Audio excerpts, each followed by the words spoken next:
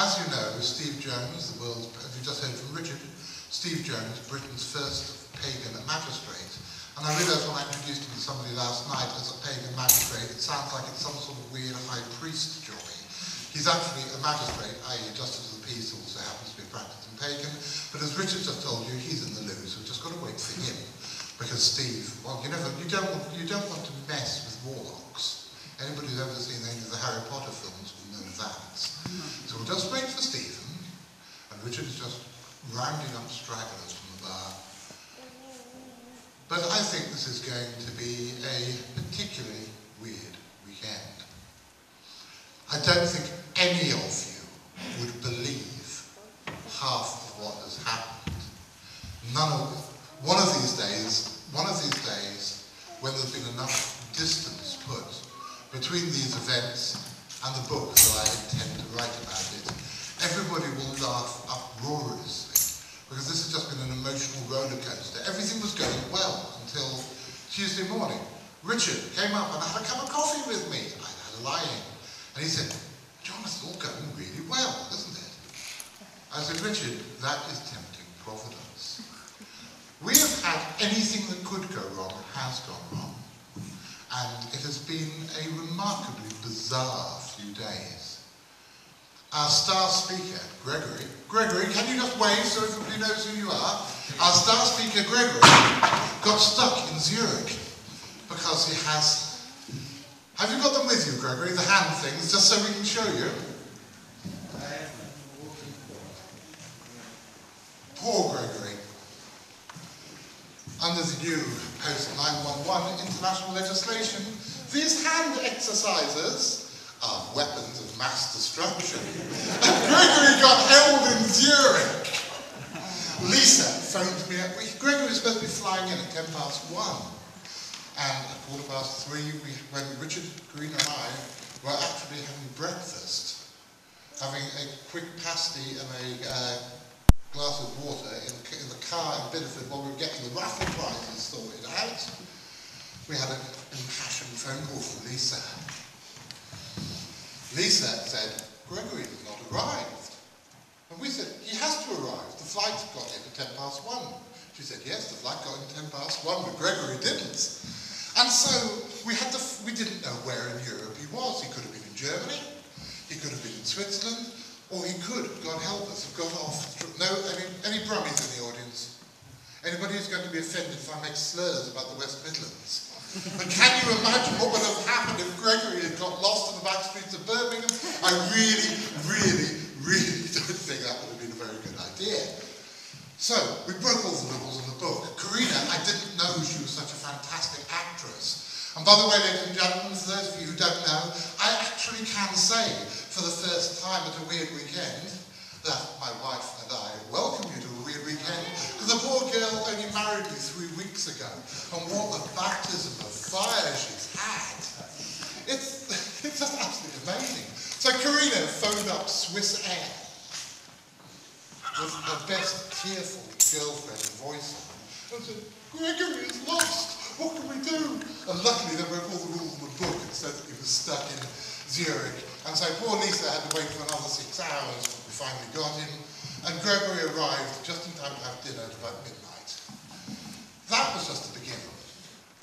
One of our turtle tanks burst its rocks, burst its banks, and Richard, running to try and save some of the model monsters in the conservatory from gushing rancid green water from the turtles, slipped and twisted his ankle. Last night, I had three telephone calls all at the same time on my telephone, which is one of those horrible things. You take call after call after call, you switch between them with call waiting.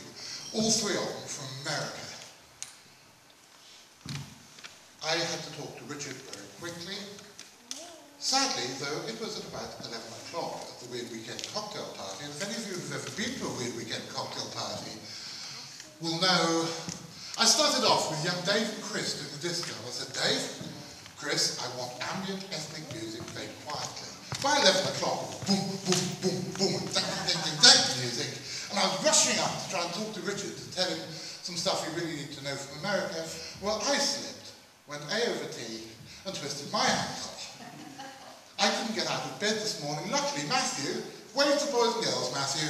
He's a first aider. So he had to come and minister to me, put in some horrible thing that hurts my ankle nastily, but at least I can walk on my ankle. Then, as some of you who know, turned up today, and instead of being greeted by me and Karina with smiles, saying, hello ladies and gentlemen, welcome to our open afternoon, they were greeted by, sorry, can't talk, medical emergency. Because one of our exhibitors was taken seriously ill and had to be rushed to the hospital. But apart from that, it's all gone swimmingly. Now, ladies and gentlemen, You forgot a truckload of radioactive waste that crashed into the garden. At least it's not as bad as last year's cocktail party, because I was sat there with Nick Redfern, who sadly isn't with us this year, and Larry Warren, two of the most famous UFO people in the world, at the garden, at the little round table in my garden, with Karina and Mark. Larry and Nick had both been drinking, I had been drinking, but Karina and Mark were stone cold sober, and 150 feet over the garden, or over the field Andrew knows next to the garden, flew a big black flying triangle. The two most famous ufo- ufologists in Britain were buzzed by a UFO. So that was what happened at last year's cocktail party. So this year's is really bit of a doddle. Cue, Graham. However, ladies and gentlemen, I like celebrations. I love the way that this conference has gone from being something that people like me, Richard, Graham and Nicola used to organise to being a fantastic international event. People from all over the world come to it and people from all over the village get involved. And it's a real village event. I've been living in this village since 1971 and I'm really, really happy to be able to welcome all you outsiders to it. But before 1971 I lived in Hong Kong. Now, in Hong Kong, like in all, most of the Orient, when you have a celebration, lights. When you have a celebration, something very peculiar happens. They have something called a dragon dance, and it's a little play, it's a bit like a pantomime, and it tells the story of a little boy from a village who comes out and he steals a dragon's egg. Well, as you can imagine, this is rules so nothing like that ever happens here. But can you imagine? It's not a clever thing to do to steal a dragon's egg, because when you do, you get an angry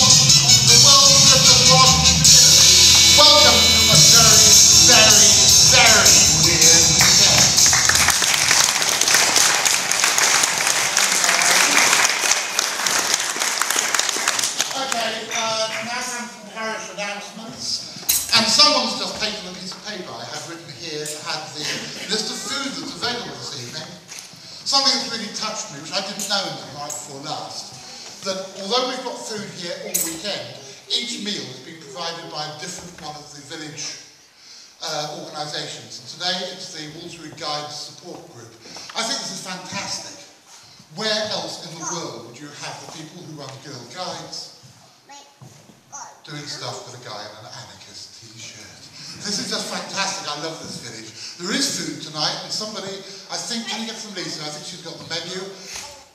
You can, at various times during the evening, just, I think it's in the first, it's starting being um, uh, uh, served in the first interval. But the menu for tonight is a vegetarian bolognese, £3.50. Bolognese, £3.50. chicken, white wine and cream, that's £3.50, and puddings. Oh my God, I want some puddings. So tonight, ladies and gentlemen, our first speaker, where is Mr. McGowan? Mr. McGowan, come on down.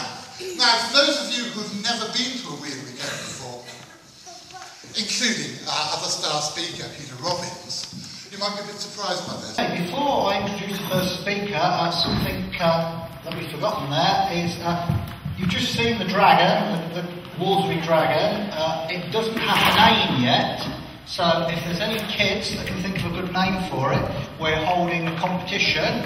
So kids, if you can think of a good name for the dragon, write it on a piece of paper, give it to us, the one we like best will win a nice prize, and the dragon will have a name. So remember that, kids. So, our first speaker tonight. Uh, does anybody remember the TV series Gentle Ben? Yeah. Do you remember that? Yeah. Well, it's based on Jon McGowan's life story. he has trained 25 Canadian beavers to be professional mourners, and he hires them out to weep at festivals. So it's uh, Mr. John McGowan and his bereavement beavers.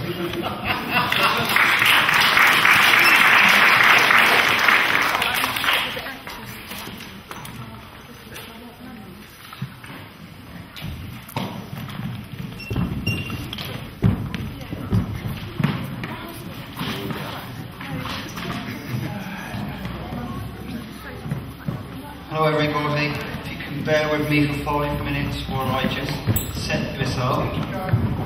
Aspects of wildlife. Um, secret wildlife, basically, mainly in my home county, Dorset, but also the rest of the UK. Variety of wildlife. So it's a bit skew with. Basically, lizards, deer, um, martins, and big cats is the theme of my talk this evening.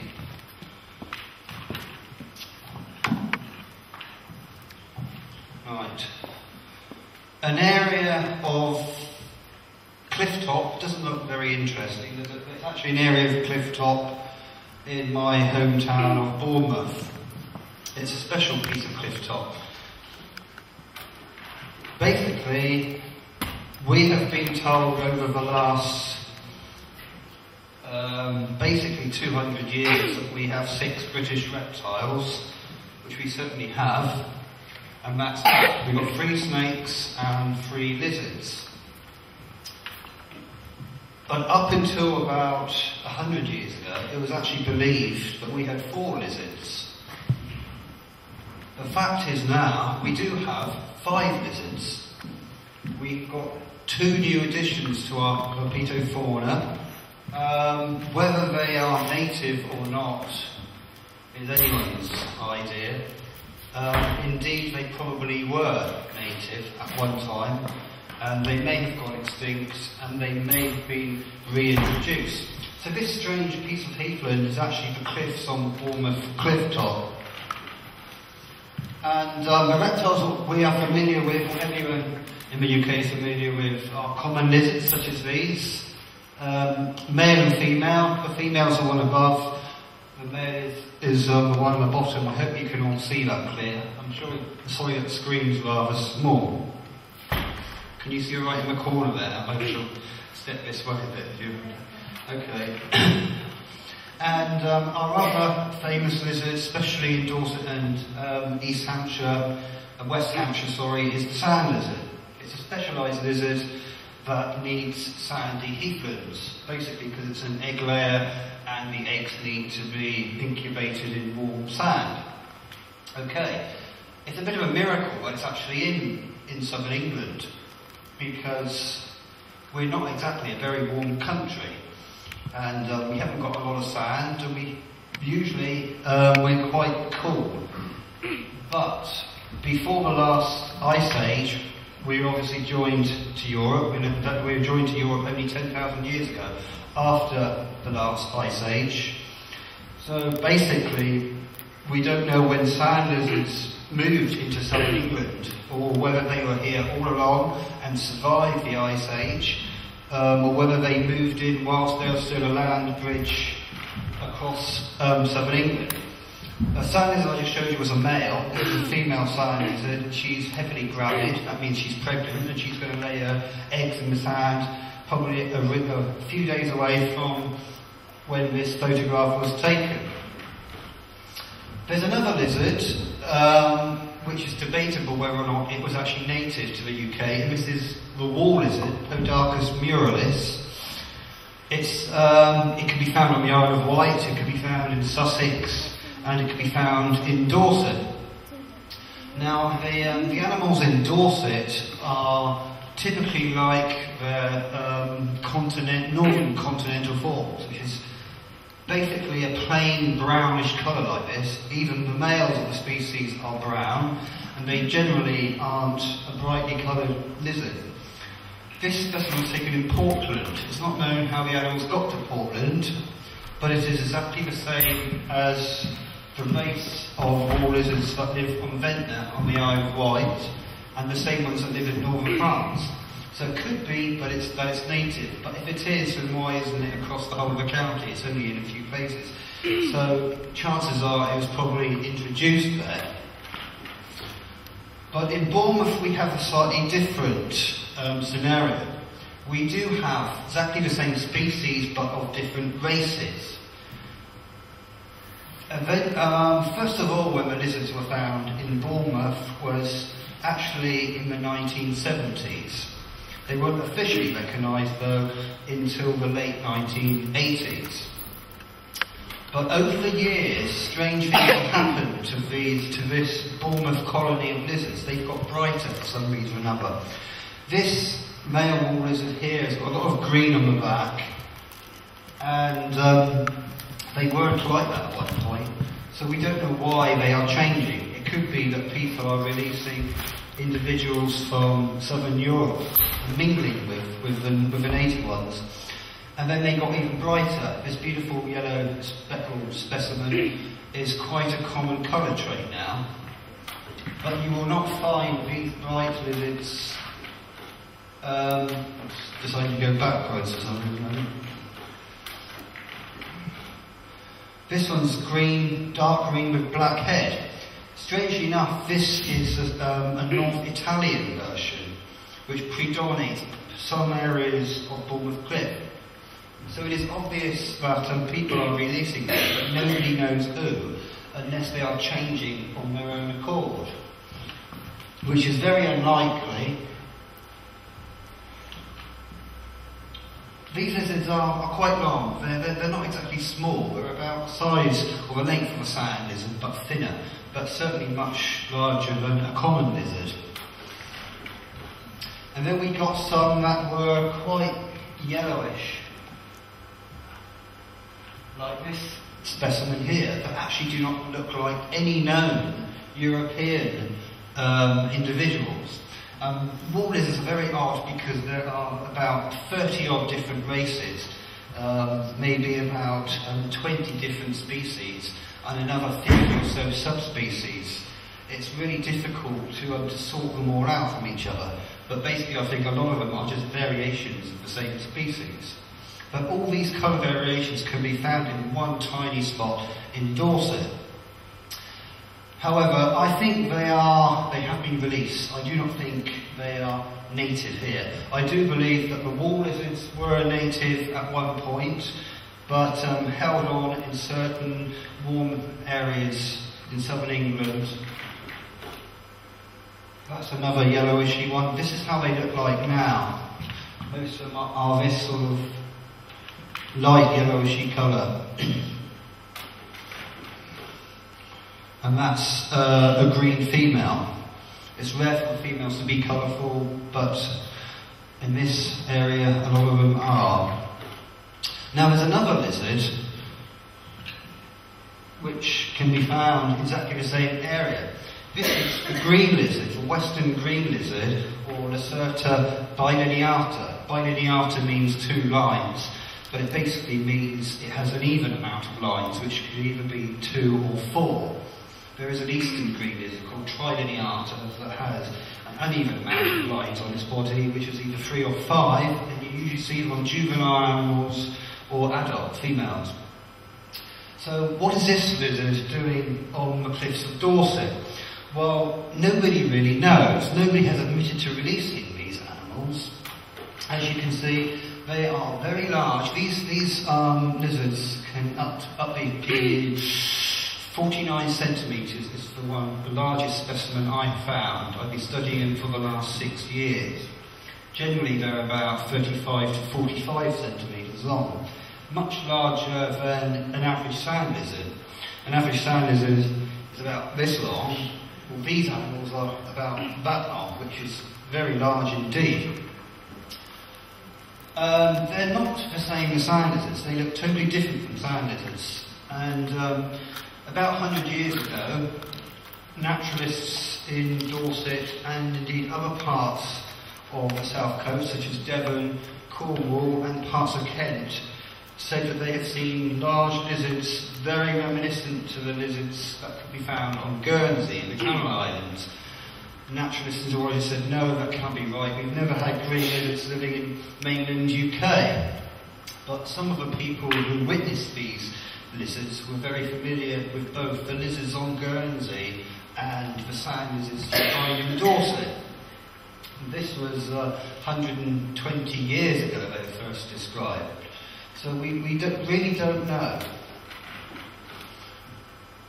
In this book, uh, this is uh, a photocopy of the front cover and first page of a book entitled Our Reptiles, dated 1865. And it's, it has the most documented cases of any book regarding green lizards living in Bournemouth and the south coast, Dorset and Devon. Nowhere else will you find um, proper reports of these animals living in the UK. So there was documented evidence of green lizards living in the UK. So why naturalists later on suggested that they weren't any green lizards in the UK and that naturalists then had confused them with the sand lizard, I really do not know. There's no reason to suggest, this is another page from that book, and it goes on page after page, basically stating how they were found in parts of Dorset, Devon and Kent. There's no reason to, suggest why they were not in the UK. If sand lizards got here, then why not green lizards? Um, sand are a very specialised animal, and yet a green lizard isn't. A green lizard is far more robust and it's far more agile than a sand lizard, and they also travel great distances. They do not need sand to lay their eggs in. They are hibernators, so they are um, they can easily adapt to the northern temperatures. So why they're not here is basically an impossibility. They basically should be here. And um, I think it's logical to suggest that they were here in certain patches, certain warm patches on the south and southwest coasts of the UK. And as you can see here, you can't confuse with a sand lizard. It's got the males in the breeding season, well, some of the males anyway, have bright blue heads or bright, bright blue chins, as you can see there. This is an, an individual who was 42 centimetres long, one of the larger individuals. As you can see, he's a mature male and he's got a lot of blue under his throat. Generally, they're speckled like this all the way over, but the variations are actually are extremely enormous. I don't know why we're going backwards here. Mm. This is another male with a bright blue head in June. The blue head only remains for about two months before it fades away. And this is um, a female, very very patchy, and keeps doing that. Sorry about that. This is another male of a different um, colour variety. He has got um, a stipulated body, he's got a plain green body, and you can still see his white stripes on the sides and a blue head. He's displaying to a female that was just two or three feet away from him. They, um, they climb gorse bushes where they feed on um, insects and solitary bees.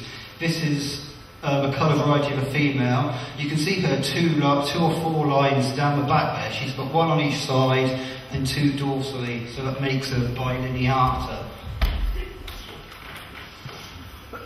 This is also a female, um, a blue-throated female.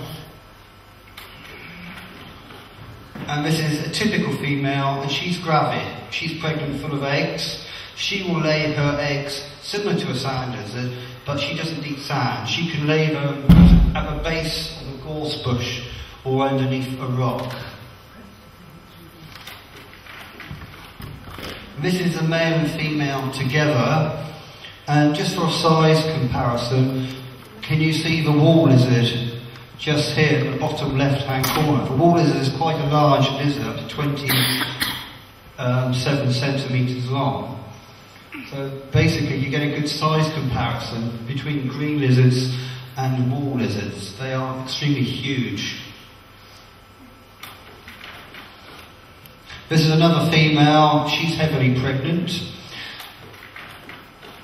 And this is a different type of male. This is possibly an eastern green lizard. So we know that people have been releasing these animals because the eastern green lizard would not naturally be on Bournemouth cliff tops. So this one has been released. It has all the characteristics of an eastern green lizard, its scale pattern on its head and its white throat, and this one was uh, 54 centimetres long, so it's very large indeed. These animals were only there for two years until we had an extremely cold winter, and then they disappeared. But um, the western green lizard survived on, and it's doing very well at the moment. And this is um, a large female western green. These are extremely shy animals, and they are easily overlooked.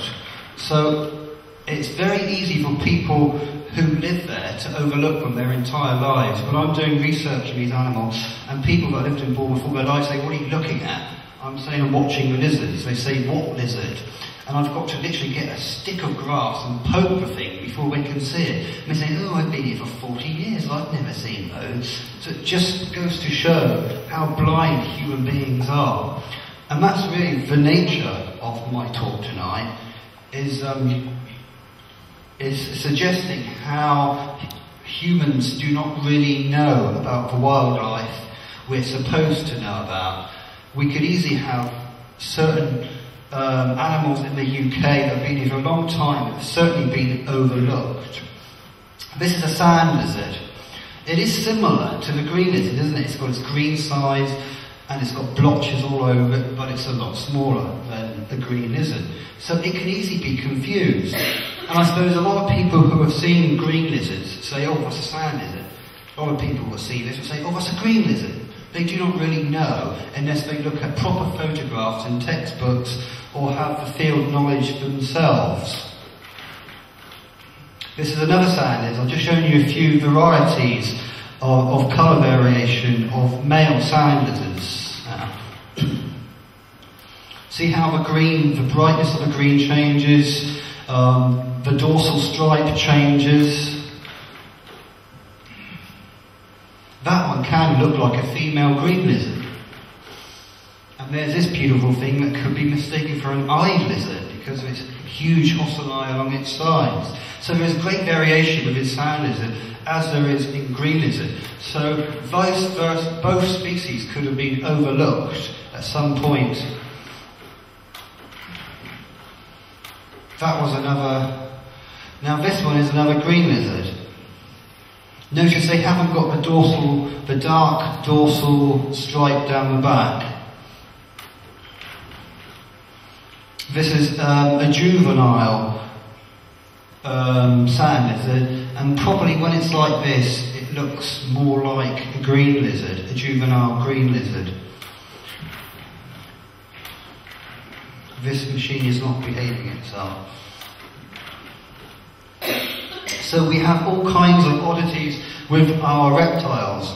We have made one mistake regarding, um, no, two mistakes regarding amphibians. Um, we have realised that a species of frog was indeed native, the pool frog's native to um, the UK, when in the past it was thought to be continental. We made a very grave mistake with the European tree frogs that used to live in the New Forest in one place. Um, they were not protected because people thought somebody had released them there. Well, after they all died out, one specimen was kept and it was analysed and it was found to be unlike its European counterparts and it was basically suggested that it was indeed a British specimen. So why did people have to wait until the poor things had died out before they realised it was indeed a British um, species? We don't want that to happen again. So regarding green lizards, I think we ought to do all we can um, to, to, um, to analyse whether or not they are truly British or continental.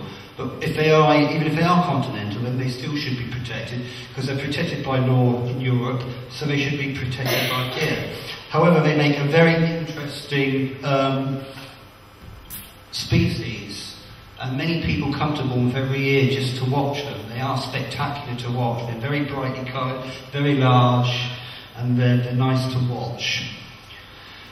This is a grass snake. I'm, I'm, sure most of you are familiar with a grass snake. It's yellow collar. They are pretty common in the UK, although they're dwindling now. And you're quite familiar with adders, with a typical dark zigzag down the back. But are you familiar with this animal? This is a smooth snake.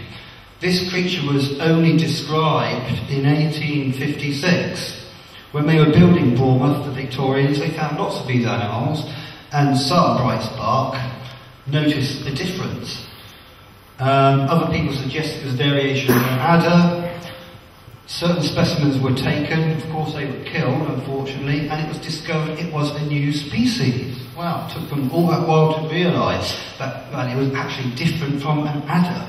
As you can see, its head there is totally different from an adder. It's very smooth, hence its name, smooth snake. It has a very broad um, heart shape on its head rather than um, an X or a V and it has a facial stripe and its eyes do not have ellipt- elliptical pupils like an adder.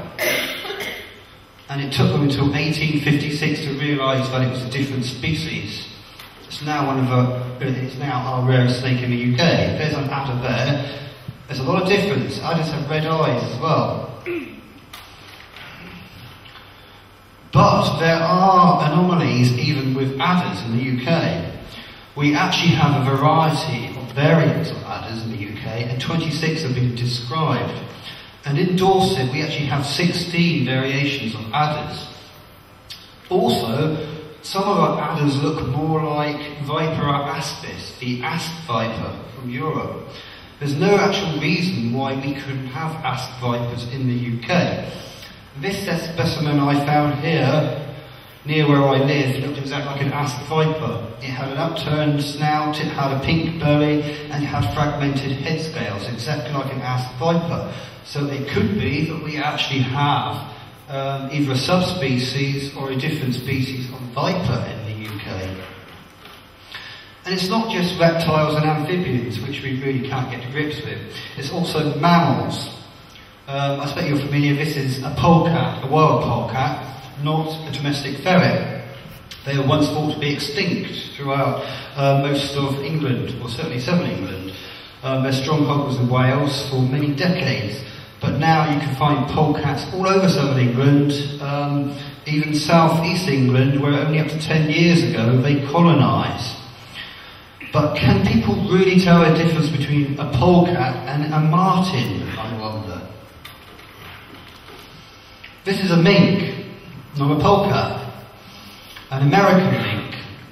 Why haven't we got European mink in this country? We should do. Mink aren't just in America, they're in Europe. The European mink is extremely rare. It looks very similar to the American mink, apart from it has white on its upper lip. It may be that they were once in the UK.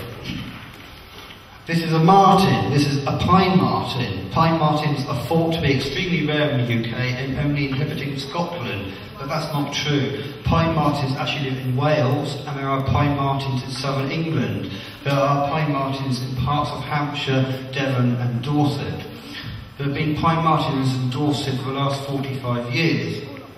And the last records of pine martens in southern England were actually in Cranborne Chase in 1926.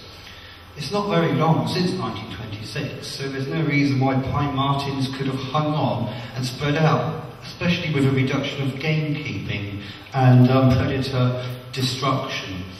And I've been fortunate enough to see pine martens three times in Dorset, so I know they're there. Whether they're native or reintroduced ones, I do not know. But there is an anomaly with the pine marten because in Victorian times it was said there were two species of marten in the UK. One was a beech marten, one was a pine marten. People said the ones with the white bibs that lived in the beech forests were beech martens, and the one with the yellow bibs in the north were pine martens. However, zoologists jumped on the scene and they said, no, no, you're wrong. We've only had pine martens in the UK. There's no way beech martens could exist. And they said the ones with the white are actually just um, young specimens, um, no, they said old specimens of pine marten.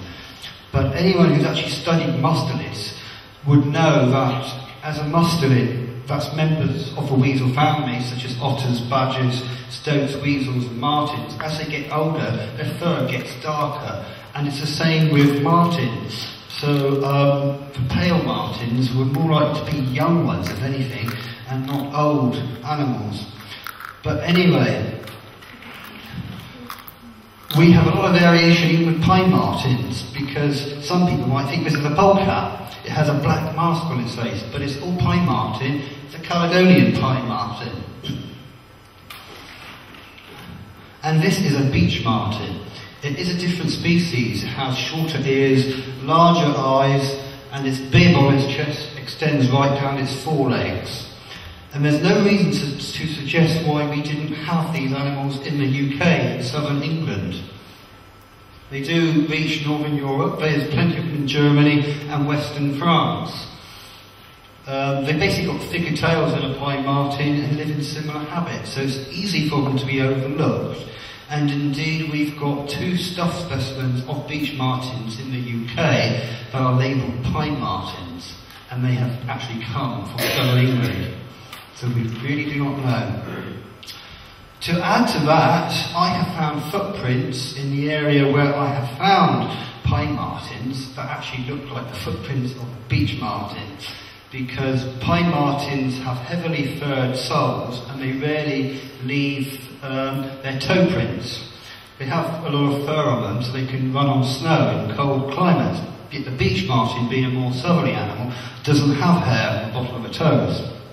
Yet, these footprints I found are definitely Marten footprints, but you can see the well-defined toe prints, which means that they could possibly be beech martens. It could be that people have been releasing beech martens in the UK, I do not know, but um, it would seem that they are certainly here. So, there's another one there with a penny red comparison. It's, you can see five toe pads there, which is typical of a marten. So it just goes to show that our countryside can throw up all kinds of oddities and that we really do not know what we are looking at. Um, this, this is an old limestone chalk quarry here. This, this one throws up a hat trick for me because this place here was probably the last place where mouse-eared bats, a colony of mouse-eared bats have lived and they may still be there now. Mouse-eared bats, as you may know, are Britain's rarest bat species, said to be extinct, but they are not. It's because they are easily overlooked. And um, basically, this quarry in central Dorset had a colony of mouse-eared bats 30 years ago, but they did disappear. Nobody knows when. But strangely enough, when the, the quarry owners moved out, um, English nature stepped in and they cleared the buildings um, opened up these caves and they put bat grills around them. They did that for a reason, yet nobody knows why. There's no um, greater horseshoe bats in the area. Six miles away there is. Maybe they know something we don't know. But this actual quarry here was a place where I saw my pine martens 25 years ago. And not only pine martens I saw in this quarry, I saw another animal which I know to be um, non-native to the UK, which we will get on quite shortly. If you just bear with me while I um, change the magazine.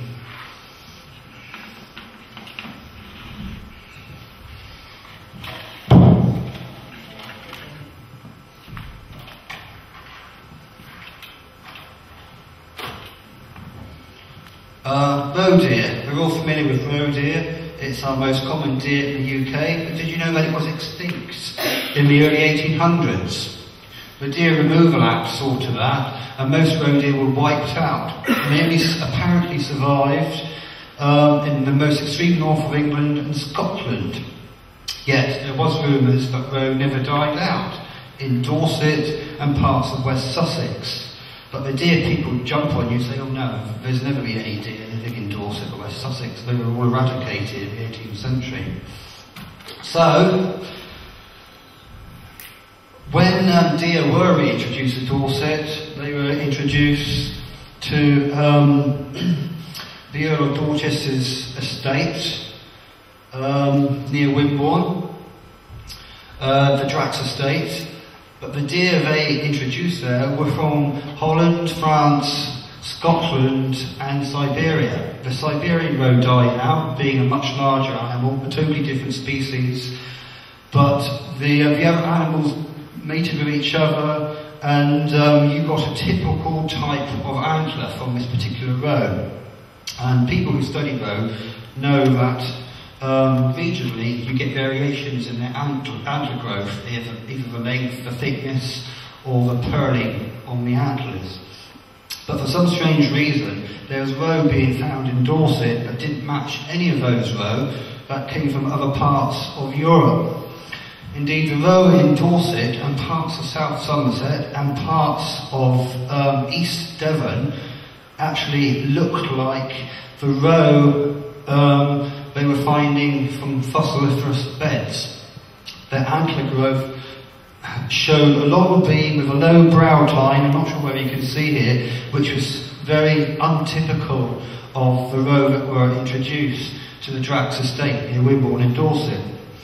Where did these roe come from? It's anyone's guess. I believe that they were never eradicated in Dorset, and the roe we have now are direct descendants from the ancient roe that always lived there. So with all these deer around, not just in Dorset in the south of England, but all over the UK, I mean, red deer aren't very common in wild now, they're mainly in deer parks, but we do have in Dorset and the New Forest. But it's the sika deer, such as this, that are extremely common in Dorset. In actual fact, we have the largest free-ranging populations of sika in the UK. We even have more sika than in Scotland. So with all these um, animals, and muntjac, like this, that has got English nature, or natural England if you want to call them that, and the Forestry Commission and the um, conservation groups up in arms saying, we've got to destroy these deer, they have no natural predators. How do they know we've got no natural predators? As far as I'm concerned, they have got natural predators.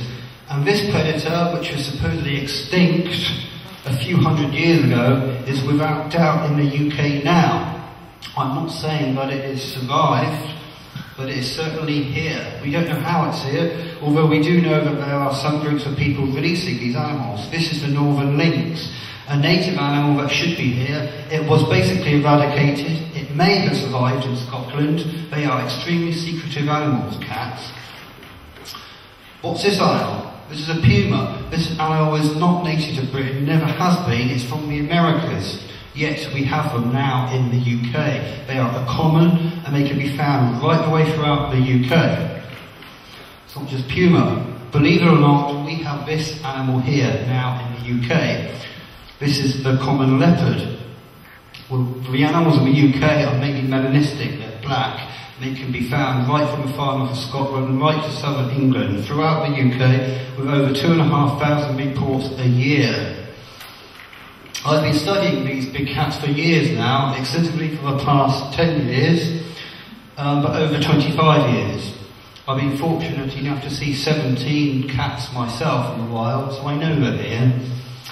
But also biological finds, I'm always finding. When I find a deer like this, I know it's been by cat. For a simple reason, by, by the way it's been eaten, it's not been raked apart by foxes or badgers or domestic dogs. That's been eaten in a particular fashion which only a cat would eat a deer. Thus it's eaten its skin from the side, it's licked the, uh, the skin off its face, one hind leg has totally disappeared. Foxes do not eat bones, or they don't eat big bones, and they've got weak jaws. They certainly can't crunch up bones. Badgers do not need to eat bones because they eat a lot of vegetable roughage. They do not need that extra um, roughage. There's a close-up of that head of a Sika deer. It's a young stag. The antlers have been eaten as well, by the way. Can you see how the um, underneath the eye there, the actual skin is licked up to roll to roll up like a carpet. Cats do that because they lick and they lick the flesh off of their victims. No other animal does that. And I'm finding lots of these, I have done over the years. This is a Sika carcass that actually fell from a tree. Well, what's a Sika deer carcass doing in a tree? A fox doesn't put it there, a badger doesn't put it there, a poacher doesn't put it there, for goodness sake. No, a leopard put it there, and it fell out of a tree in a gale, and then the leopard hid it under the bush after consuming half of it. Um, I get a lot of reports, being a member of Big Cats in Britain research group, of kills like this. People telephone me up and say, oh, I found remains of a dead deer in my garden. What's eaten it? One look at it and I can tell straight away it's the victim of a cat attack, a big cat attack, either a puma or a leopard. As you can see here, its limbs are totally eaten, half of its head is eaten, most of the animal is licked clean, and only a cat can do that. I find this is a quite a recent roe deer I found just three weeks ago actually. Half its body is totally consumed, and you can see how this animal was suffocated. Leopards kill like uh, like lions; they suffocate over the mouth and the nose. You can actually see the marks around its eyes there, where the leopard's canine teeth held onto it. And its eyes are milky and bluish, typical um, a typical look of death by asphyxiation. As you can see, most of its body is consumed. It has one leg left, so it was a large animal to eat all of that. That's an adult roe buck, quite a large animal. And I'm finding dozens of those a year, not just in Dorset, but in Wiltshire, in Devon, and parts of the New Forest. This is a roe that's got um, a canine tooth hole from the back, one of a collection of over a dozen that come from one place in Dorset. Other signs of big cats I'm finding are scats, of course. Every animal that eats has to leave droppings. And um, with a bit of knowledge, you can easily to find out um, whether you're looking at a cat scat or a fox scat or a badger scat or what. This is a typical cat scat. It's turned white due to all the, uh, the calcification in the bones it's been eating, with large bones in there. Foxes chew because they've got a lot of teeth. All dogs chew. They do not bolt down their food very quickly unless they're in a hurry, unless the food hasn't got bones in it. But cats have to eat quickly. They only have three teeth in the bottom jaw, so they can't chew. So you get large fragments of bone. And in this case, there's actually fox whiskers embedded in these feces. So this cat had been eating foxes, which is a very common occurrence. Just for comparison, this is a genuine leopard scat in Armenia. Um, the similarity is, is immense. This was beating badgers, you can see to the left of a 10 pence piece and embedded in the fur. This is a scat I found in Gloucestershire, wild boar hair, and this is a scat in Armenia of wild boar hair, exactly the same. These are known to be from an Armenian leopard. This was a lynx scat found in Bournemouth. A lynx lived in Bournemouth for, um, for several weeks, and this was its bed. And from that bed, I extracted hair, and I've had the hair analysed, and it looks exactly like lynx hair. Although um, it wasn't analysed by DNA, it was analysed another way. I'll show you in a minute. Um, not just feces and kills are to be found when you're looking for big cat evidence, obviously footprints. This is not cat footprint, this is typical dog footprint. If you can see um, four toe pads, the top toes are even on a dog, and they usually show claw marks, and they're of a rectangular shape, basically, and you can draw a cross through the whole pad. As you can see there, you can actually see the crosses in the middle of that pad. You can't do that with cat footprints. This is a typical cat footprint, although it's not clear. I put it in because it's the first cat print I ever found. This is a leopard cat footprint, and, and it measures nine centimetres across, and it's drinking from a pool at Studland in Dorset. And actually, you can see its its heel pad is free lobed, and you can just about see it on this track in the mud. It's got no claws, and you can't, you couldn't really draw a cross through the centre of that toe pad. I'm finding these um, footprints all over the place now. I've got a good library. If anyone wants to have a look on my stall out there in the other room, I've got plenty of photographs of big cat evidence. This is another um, cat, but this is um, a smallish to medium cat, and it could even be from an ocelot. It's worth remembering that whatever human beings keep in captivity, they inevitably escape. Whatever animals they are, they escape. And cats are escape artists. So if any animal is going to escape from captivity, it's going to be cats. And when cats do escape, they can live. And they are adaptable. It's also worth remembering that the leopard is um, the most widely distributed cat in the world. The only place the leopard does not live is the Americas. Everywhere else, leopards live apart from Australasia. So they could easily live in the UK. Actually, about the UK is perfect for cats because we have a huge abundance of wild animals, more so than in their home countries, perhaps. This is typical leopard spoor. Notice the size of it there compared with, two, with a two pound coin. This is a typical hind pad of a puma um, from the edge of the New Forest. Notice with cats you have a leading toe. See the toe on the top left is higher than the other toe. It's something you never find on dogs. And with a large heel pad, and notice there's no claws. Pumas have slightly different foot shape to a leopard, and a leopard has a slightly different foot shape to a lynx. This is a lynx. This was in North Dorset, Wiltshire borders. 50 pence piece there for size comparison. This is um, lynx from Portland. Myself, Mark North and Darren Naish visited Portland after many sightings of lynx. And within half an hour of us being in there, we were into good stuff. We were finding scats, we were finding um, decapitated crows.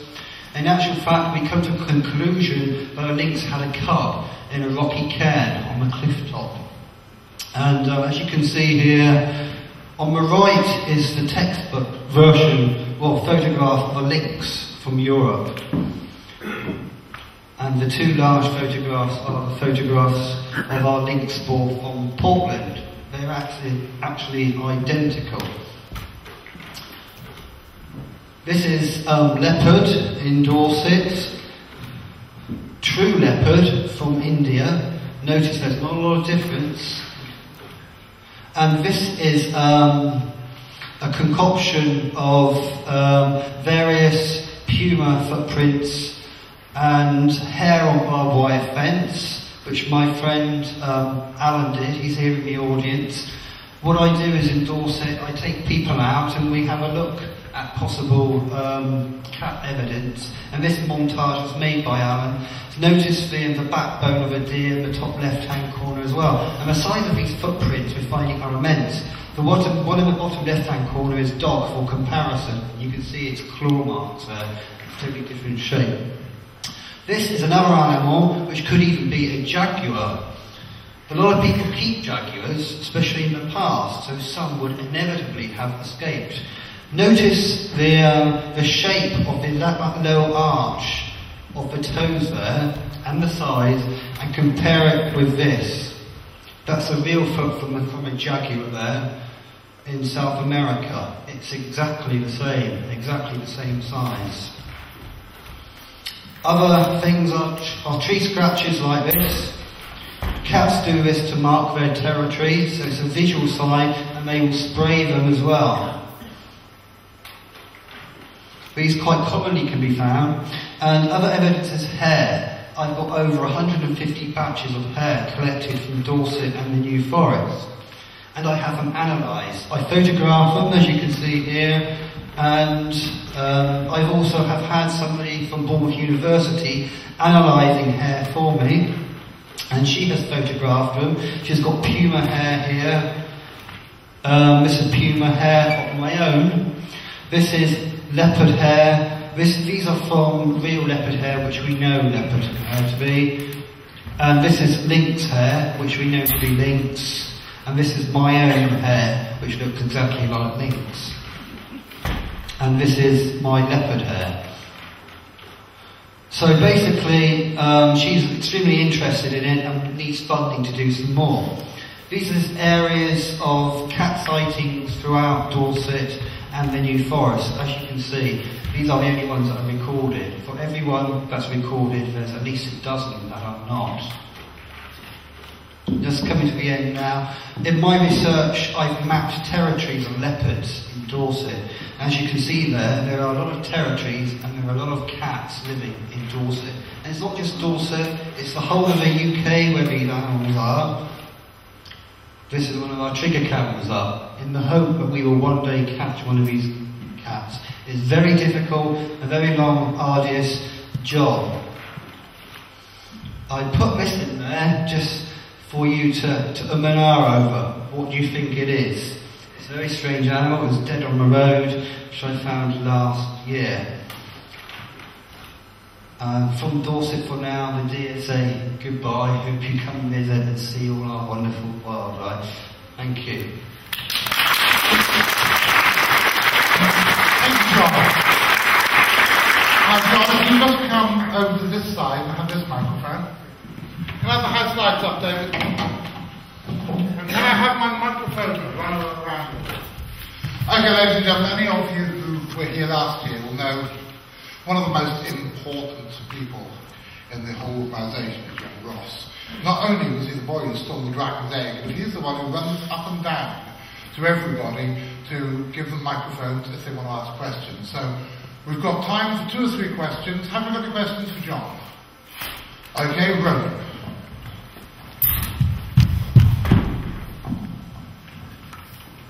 Occasionally, um, feral domestic cats have been reported to mutate into very large specimens. Could they explain any of the large cat prints you see? Now, I know that feral cats don't normally become huge, but there have been individual cases where they have. Could they be held accountable for any of the uh, tracks you've discovered? Yes, certainly. Um, is this switched on, this mic? It is, isn't it? There certainly are um, large cat, large domestic cats about. Nobody now knows how they have come about, um, but it would seem there is, especially in Australia, and I'm pretty certain in the UK we have mega-sized domestic cats out there. Maybe somebody has been fiddling genetically with the animals to do this, but certainly their footprints would represent, well some of the footprints I found are almost the size of leopard footprints, but have all the characteristics of a domestic cat. Uh, what about cheetahs? They have actually been kept as domestic animals, as distinct from leopards, which have always been wild animals in captivity. Yeah. Is there any? They have very distinct pads, obviously. They don't They have, retractile and, um, claws. That's right, they don't have Um, any evidence of cheetahs about the place? No, um, or only once. Only one, there is one observation where um, the witness says they swear blind that it was a cheetah. Um, apart from that, there has been no records. And of course, a cheetah is a diurnal animal, and it would be seen more by people, and there would be more reports. But there could have been one or two released cheetahs, but maybe they haven't survived.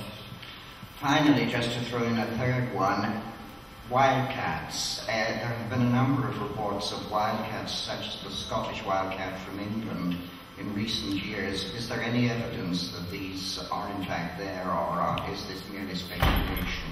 No, it's more than speculation. I myself have seen a wildcat in Dorset, which I'm pretty certain it was a wildcat, and not a, um, a wildcat looking moggy. Yes. And, um, and certainly there are more and more small zoos that keep wild cats and they breed prolifically. Uh, they must get rid of their surplus somehow. And I do believe that people have been releasing wild cats back into the UK. There are more and more reports of wild cats in Devon, Dorset, Wiltshire, parts of Sussex and parts of the Midlands as well. So I'm pretty sure they are out there. Thank you. Gregory.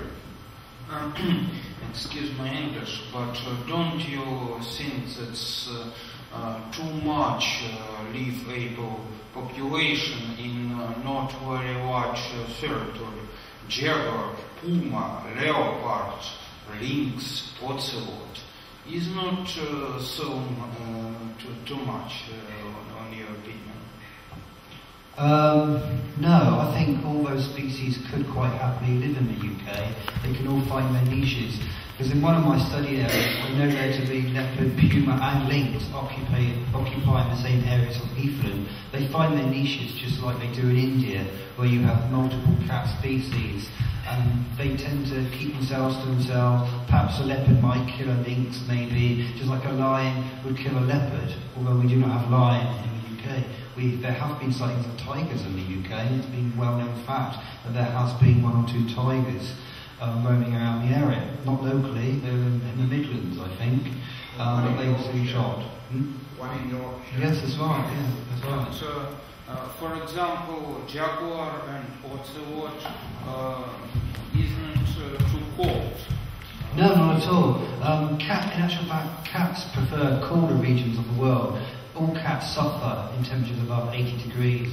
Even a leopard on the African plains suffers in temperatures above 80 degrees. Of course, I know leopard, puma, uh, but not ocelot, and maybe not jaguar.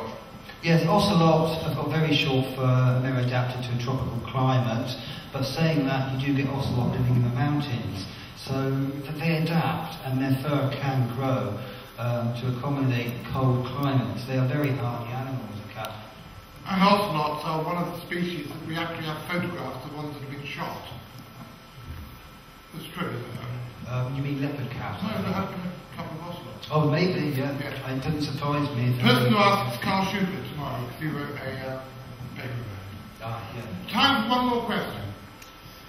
Okay. And then back to young lady first. Two more questions.